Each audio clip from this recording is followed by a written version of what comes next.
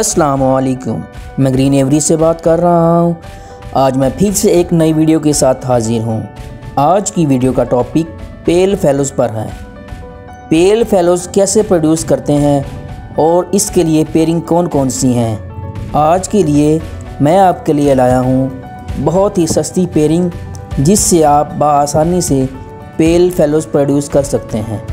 सबसे पहले मैं पेल फेलोज़ के बारे में कुछ बताना चाहता हूँ।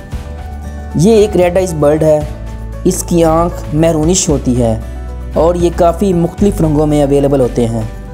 पेल फेलोज़ भी अल्बाइनोज़ और क्रीमनोज़ की तरह इनमें मोटेलिटी रेट बहुत ज़्यादा होता है और ये वीक ब्लड लाइन भी होते हैं। वीक ब्लड लाइन होने के साथ साथ इसकी प्रोडक्शन थोड़ी सी कम होती है और मुश्किल से इनके बच्चे पलते हैं। जिस बर्ड्स की प्रोडक्शन कम हो तो इसका फ्यूचर बहुत ही ब्राइट होता है। इसलिए इसमें इन्वेस्टमेंट करना बहुत ही फ़ायदा मंद है। और लोग पेल फेलोज़ को बहुत लाइक करते हैं, क्योंकि इसकी महरूनिश आँखें लोगों को अपना दीवाना बना देती हैं। अगर तो new fancier pale fellows breed कराना चाहते हैं तो उन्हें क्या करना चाहिए? मैं उन्हें बताता हूँ, उन्हें कौन सी पेयरिंग करनी चाहिए और क्या उन्हें रिकमेंड करूँगा मैं। तो आज मैं उसी सिलसिले में इनके लिए एक ऐसी पेयरिंग लेकर आया हूँ, जो कि इसको पेड़ में आपस में लगाकर आप अच्छे बच्चे प्रोड्यूस कर सकते हैं। वो भी पेल फेलोज़ के, वो भी कम प्राइस पर। पेल फेलो प्रोड्यूस करने के लिए बहुत सारी पेयरिंग हैं। Blue pale fallow parblue pale fallow और ग्रीन पेल फेलो प्रोड्यूस करने के लिए बहुत सारी पेयरिंग हैं। अगर आप ब्लू और par blue pale fallow produce करना चाहते हैं तो आज मैं इसी सिलसिले में आपके लिए वीडियो लेकर आया हूँ। ब्लू और पार ब्लू पेड़ फलो कैसे प्रोड्यूस करना है?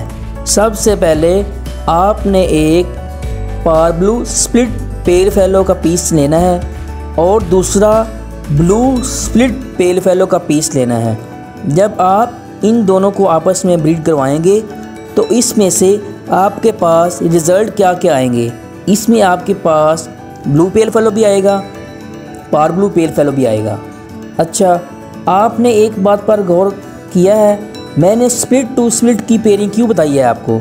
वो सिर्फ़ और सिर्फ़ इसलिए, एक तो स्प्लिट आपको विजुअल बर्ड की नस्बत कम रेट पर मिलेगा, और दूसरा, जैसा कि आपको पहले भी बताया है, ये वीक ब्लड लाइन होने के साथ साथ इनकी प्रोडक्शन स्लो है, और जब आप विजुअल पेयर फेलो को पेयर करेंगे तो चिक्स की सर्वाइवल रेशो बहुत कम होती है। इस नज़िए को जेन में रखते हुए मैंने स्प्लिट टू स्प्लिट की पेनिंग रिकमेंड की है। स्प्लिट टू स्प्लिट लगाने का एक और बहुत फ़ायदा है। अगर आप स्प्लिट टू स्प्लिट पेयरिंग करेंगे तो उनमें जितने भी आपके पास सिक्स आएँगे, विजुअल या स्प्लिट्स आएँगे, वो सारे के सारे स्ट्रॉन्ग ब्लड लाइन के होंगे। और आपके पास जब वो फ्यूचर में जाके ब्रीड करेंगे तो उसमें मोटेलिटी रेट बहुत ही कम हो जाएगा। मोटेलिटी रेट से मुराद उसके मरने के चांस बहुत ही कम हो जाएँगे। इसीलिए स्प्लिट टू स्प्लिट पेयरिंग हमेशा फ़ायदेमंद है। इसी पर फोकस करें और इसी को आपस में लगाकर घर के स्पिट्स बनाएँ और पॉसिबल स्पिट्स बनाएँ ताकि आपके पास पेल फेलोज़ की प्रोडक्शन ज़्यादा से ज़्यादा हो जाए। अब हम अगर पार ब्लू स्प्लिट पेल फेलो को ब्लू स्प्लिट पेल फेलो को आपस में ब्रीड करवाएँगे तो इनमें जो हमारे पास चिक्स आएँगे उनके बारे में आपको बताता हूँ। सबसे पहले आपके पास पहला चीक जो आएगा, वो पार ब्लू पेल फेलो आएगा। दूसरा चीक ब्लू पेल फेलो आएगा। तीसरा पार ब्लू पॉसिबल पेल फेलो। चौथा ब्लू पॉसिबल पेल फेलो। दो चीक हमारे पास विजुअल पेल फेलो के आएँगे और दो ही चिक पॉसिबल पेल फेलो के आएँगे। ये चारों बच्चे बहुत ही कीमती हैं। पॉसिबल पेल फेलो भी और दूसरे विजुअल पेल फेलो भी। पॉसिबल अब मैं आपको बताता हूँ पॉसिबल पेयर फेलो से मुराद क्या है? पॉसिबल पेयर फेलो से मुराद, ये हमें कंफर्म नहीं होगा कि आगे आपको पेयर फेलो चे चिक्स दे या नहीं। लेकिन ज़्यादातर चांसेस यही होते हैं, ये हमें पेल फेलो के एक या दो चिक्स हर क्लच में लाजमी देते हैं। ये तो अब आपकी किस्मत पर डिपेंड करता है कि आपकी किस्मत में हर क्लच में एक बच्चा आता है या दो बच्चे आते हैं, ये बहुत रेयर चांस हो जाते हैं। अच्छा आपको मैं एक बात और बताता हूँ। मेरा एक दोस्त है, उसके पास पॉसिबल इंटू पॉसिबल की पेयरिंग लगी हुई थी, जिससे उसके पास सारे के सारे बच्चे विजुअल पेल फेलो के आए हैं। ये तो आपकी किस्मत पर डिपेंड करता है ना? बाप, उसकी किस्मत अच्छी थी तो उसके पास सारे के सारे चिक्स पेल फेलो के आ गए। इसलिए पॉसिबल पेल फेलो से भी आप विजुअल पेल फेलोज़ बना सकते हैं मतलब आ सकते हैं।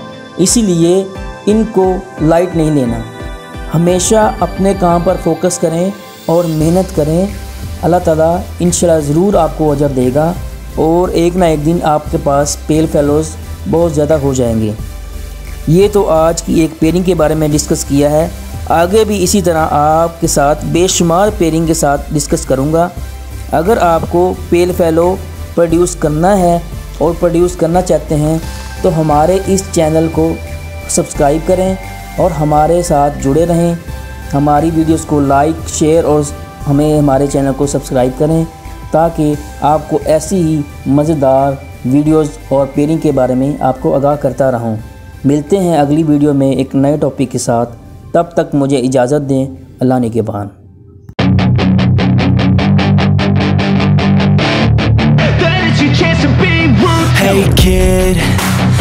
Don't let them get inside your head. They'll tell you what to do in life instead Of everything you know that you could get